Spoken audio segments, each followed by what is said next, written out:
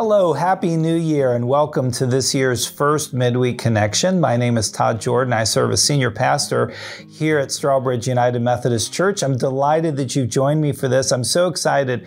It is the first week of 2023, and I already learned something new.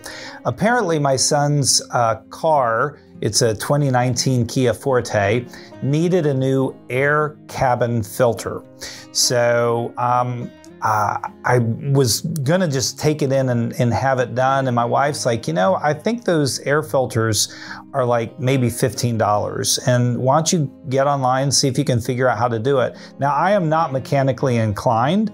Um, I am not a do-it-yourselfer.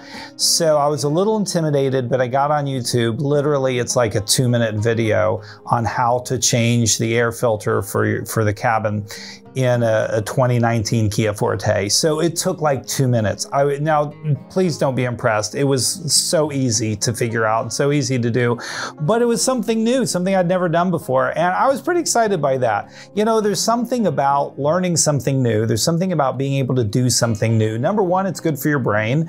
Uh, I hear it keeps you young, so we'll see if that that's the case. Um, but it also feels really good.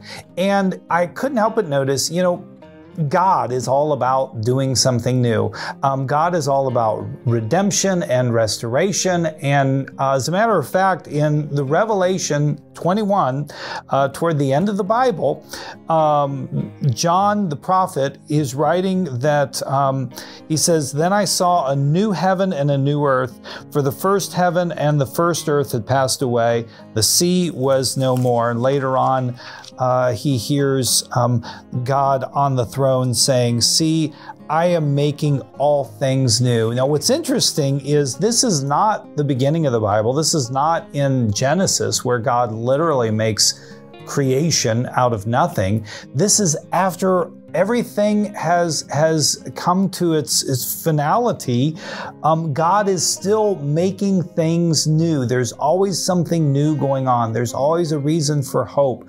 Uh, and and by the way, God is the ultimate do-it-yourselfer, right? God does everything personally, including this. He says in the same chapter, verse three, uh, I heard a loud voice from the throne saying, "See, the home of God is among mortals."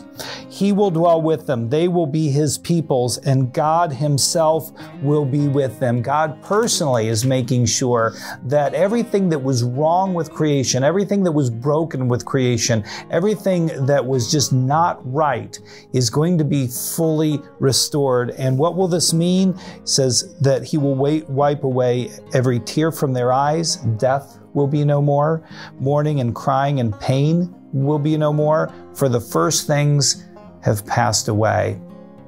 I really feel like the big difference between heaven and hell is not one place is where the good people are and one place is where the bad people are, so much as it is that heaven is that place where there's always the possibility for something new.